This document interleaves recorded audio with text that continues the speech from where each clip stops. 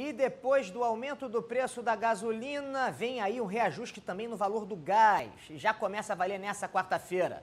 Quem traz pra gente as informações direto da redação da Band News FM é o Marcos Lacerda. Lacerda, boa noite para você. Ontem mesmo a gente estava conversando que uh, o GNV era uma opção, mas que ainda tinha pendente uma autorização, uma, uma situação na justiça, né? Conta pra gente aí o que aconteceu, Lacerda. Pois é, Fernanda V, boa noite, boa noite a todos ligados na tela da Band tem essa decisão judicial, que é um aumento de 50%, que ainda está deixada de lado de 2021, do final do ano passado, que pode aumentar ainda mais o gás natural, né? que só vem uma série de aumentos e uma série de, de decisões que a gente vai explicar aqui a partir de amanhã mais caro para quem mora aqui na região metropolitana, né, que envolve a capital e o Grande Rio, vai ter um ajuste de 7,30% no residencial e de 7,18% no comercial. Já para o GNV, para que utilize os carros nos postos, aí um aumento de 1,10% para a indústria de 1,40%.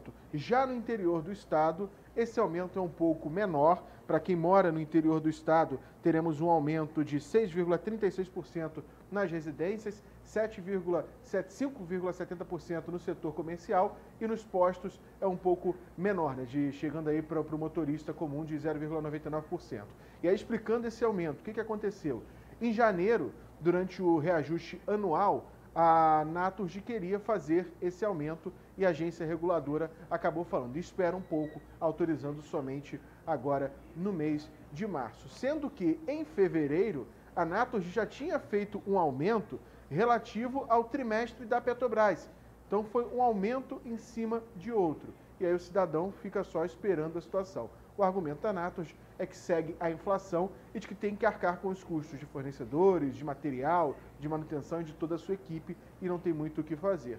Lembrando que a qualquer momento, se sair uma nova decisão judicial, o gás pode subir até 50%, que está travado desde dezembro do ano passado. É só aumento em cima de aumento, Fernando Davi. É, tá difícil, Lacerda. Se vier esse aumento de 50%, aí a gente desiste de vez, né, de andar é, com veículo a motor, né? Aí é melhor a gente se mudar é, para outro lugar, para outro país, ou então voltar a andar, não sei, de charrete, né? E torcer para não ter, sei lá, um aumento no preço da ferradura, né? Tá complicado, Lacerda. Obrigado pelas suas informações.